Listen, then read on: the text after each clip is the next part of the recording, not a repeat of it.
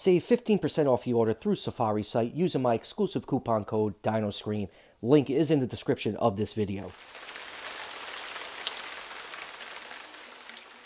Hey everyone, welcome back to another Safari Limited review. Today we're taking a look at their new Spinosaurus. Ah, Spinosaurus, the dinosaur that changes its appearance pretty much once a year. Every time this happens, companies scramble to get the most accurate version of this dinosaur because it's quite a popular dinosaur and these figures sell really well. And Safari is the third company out of the gate this year to provide us the Spinosaurus with the new updated paddle tail. The first one was the large GR Toys figure followed by PNSO, and now Safari has there on the board. Very surprised CollectA did not do one this year. Actually shocked by that. So before we jump into the review, there's something I need to bring up about this figure. You may have heard me mention in my other Safari 2021 reviews to be careful with your figures. And the reason for that is because of this figure right here. I've noticed with these new batch of figures, Safari is using a different material. It's a lot harder and a lot less rigid than what we're used to. There's very, very little flexibility on these figures.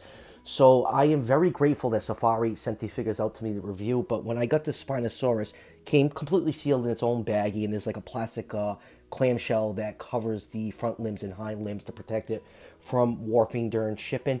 So when I open my figure up, let me pull it in right here, you'll notice the fingers on the hand are snapped off. That's the way this figure came to me. The fingers and claws were actually still in the baggie. So when I took this figure, I started messing around with it, and like I, that's why I noticed this much tougher material. You can hear my finger when it snaps up against it. It's just very tough and hard, and there's like no flexibility on here. So I did save the parts, and my plan was to you know super glue them back together. So a couple weeks ago, I was taking this figure downstairs to prepare for gluing and I kind of stumbled and all the pieces fell in my living room. I have no clue where they went. I looked underneath my couch, my TV stand, my coffee table, couldn't find them. The only one I could find was this claw right here. So yeah, um, so that's something to be mindful for with this figure. Um, like I said, just this material is just not flexible at all. It's kind of a shame that it came like this. But if this happens to you, Safari has excellent customer service, and I'm sure they will replace the figure for you. I didn't end up bugging them because I actually had all the pieces and I was going to fix it myself, and I'm sure it would looked fine. But since I'm a klutz, I am stuck with a Spinosaurus that's missing two fingers. So enough about my stupidity. Let's get this figure up on the turntable and take a closer look.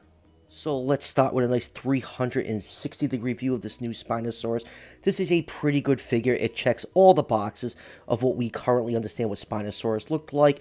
You got the paddle tail, the quadrupedal stance, and the really short back legs. The paint scheme is simple. The main body is this like light camo green color highlighted by turquoise blue markings. You got those, uh, the neural spines are highlighted in that blue. And you got some white mixed in there to break that up. And you also got some white striping down the paddle section of the table. So, yeah, it's not the best color scheme, but I think it gets the job done. Now, let's just do a couple quick measurements. This figure is nine and a half inches long from the tip of the snout to the tip of the tail and just about two and a half inches tall. So Spinosaurus in real life was a big boy, estimated between 49 and 52 feet long. So with those measurements, I put this figure somewhere in the 160 to the 165 scale, and I think that is the problem a lot of people have with this figure. It's too small for a Spinosaurus figure. You know, a lot of us like to collect our figures in scale, and not a lot of people collect 160 to 165 scales. So I can see uh, like why a lot of people had an issue with this figure. Like I said, it's a nicely sculpted figure, but for me personally, and for some other people, it is too small. But the good news is, if you have a dinosaur collection and you're short on space and you don't want to collect all these large figures, this is a small figure and it easily fits on your shelf, and then you have a nice, accurate representation of Spinosaurus. So there definitely is a market for a smaller Spinosaurus figure out there. Alright, let's zoom in and take a look at some of the finer details on this tiny boy. Starting with that head sculpt, this is a pretty good head sculpt of a Spinosaurus. You got the crest up here just before the eyes. The eyes painted in with a black pupil. The teeth are nicely sculpted and painted, no sloppy paint on mine. And then turn it around, let's see if my light can pick up the mouth right here. The mouth details are pretty plain. You can definitely tell Doug Watson did not sculpt this figure. Can't even really make a, a tongue in there. You just go some like glossy pink paint to give it that wet look. No, you know, throat definition in the back of the mouth right here. But, you know, it's a small figure, so you're really not going to notice that unless you, like, get a close look. Uh, going down to the neck, you can see some nice scale detail sculpted in. You got more of that turquoise striping along the neck. You get some large scales sculpted on the top of the neck right here, just before you get to the neural spines. And then going down to the front legs, here's the broken up, uh, uh, I think this is the left limb. And then turning around, this arm is a little bit better. Still have uh, the tips of the claws snapped off on this one and this one right here. But the claws are nicely painted. They have a nice white paint on them. And they have a little bit of that turquoise wash to bring out that scale detail on the arms. And then turn the figure over. You can see the underside is painted white with some nice scale detail. And then going down to the spine, you can see the spine is nicely sculpted. A lot of nice detail on here. I gotta say, there's a lot of nice scale detail sculpted on this small figure. So that is pretty impressive to me. You get some of that turquoise blue striping with some nice white highlights in there to break up that sail. And then going down to the hind legs, you can see the hind legs are sculpted really small.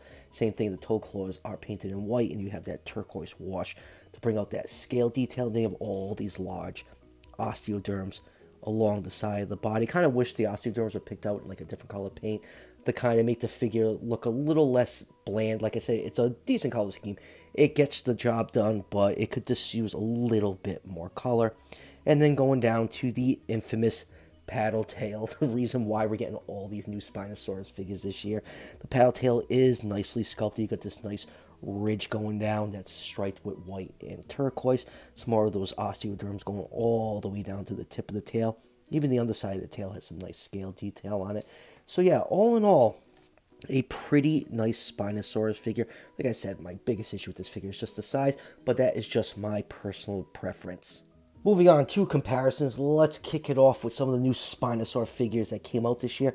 Here it is with the big boy, the GR Toys Spinosaurus, which was the first company to get the paddle-tail Spinosaurus out on the market. And this is a pretty impressive figure. Scales around 135 scale, which is the scale I prefer to collect in. You can see it absolutely dwarfs the Safari Spinosaurus. And let's pull out the next contestant. Here it is with the PNSO Spinosaurus, which is smaller because it is based off a juvenile specimen. So right here you have all three paddle-tail Spinosaurs currently available on the market. So now, which one do you pick?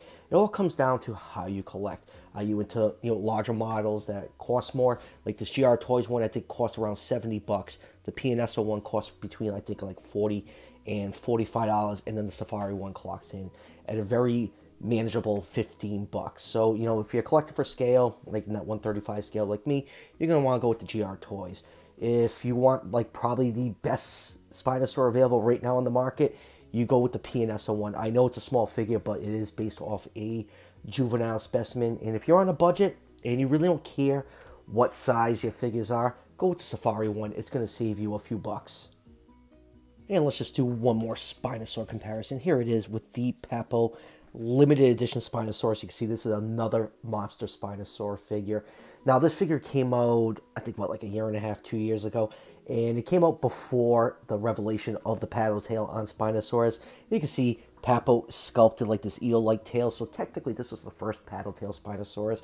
And Papo definitely got lucky. You know, every once in a while, a blind squirrel does find an acorn. And let's compare it to some of other Safari limited products. Here it is with their feathered Tyrannosaurus Rex. And like I say, every time I take this figure out, still one of the best releases from Safari. And lastly, let's compare it to some of the other Safari's 2021 releases. Here it is with their awesome looking Baryonyx. Pretty cool that we got two Spinosaurs in the same year from the same company. And lastly, here it is with their equally impressive Daspletosaurus, another figure that I absolutely love from Safari. And you know what? I actually don't have their older Carcharodontosaurus, and I've seen that figure a few times in stores. And just going from my memory, I think that figure would scale pretty well with this new Spinosaurus. So, you know, if you want two, you know, large predators that existed at the same time in the same ecosystem, definitely pick up that older Safari Carcharodontosaurus. It should go pretty well with their new Spinosaurus so, final thoughts on this new Safari Spinosaurus. Yet another contender in the Paddletail Spinosaur Wars. It's a pretty good offering. I do like the sculpt on it. It has some nice detail. You know, the paintwork is a little bland to me. I just wish it had a little bit more color and maybe some kind of wash to bring out all those really nice scale details. and osteoderms. And like I said, the biggest reason, which is just a personal opinion, for this type of dinosaur, this figure is too small for my collection. It may not be too small for yours, but that's just for me. And like I said, it clocks in at a nice budget-friendly $14.99. So, you know, if you're on a budget and don't really care what scale your dinosaur figure is in, or if you just like collecting small scale dinosaur figures, then this figure is a perfect fit for your collection. And remember, you can save 15% off your order directly from Safari's website using my special coupon code DinoScream. I'll leave a link in the description to Safari's website if you want to order any figures from them. So that will do it for the review. I only have one more new Safari figure to review, and that is the mythical Tyrannosaurus Rex. And I'll be getting to that one shortly. And after that, I'm done with new Safari figures, but when there's some downtime this year, when there's not a lot of new figures being released, I'll go back and review some of Safari's older products, so definitely uh, be on the lookout for those. And as always, if you're enjoying the content on this channel, show your support by hitting that subscription button just below the video. Each subscription helps out the channel tremendously and is greatly appreciated and I'll see you guys for the next one.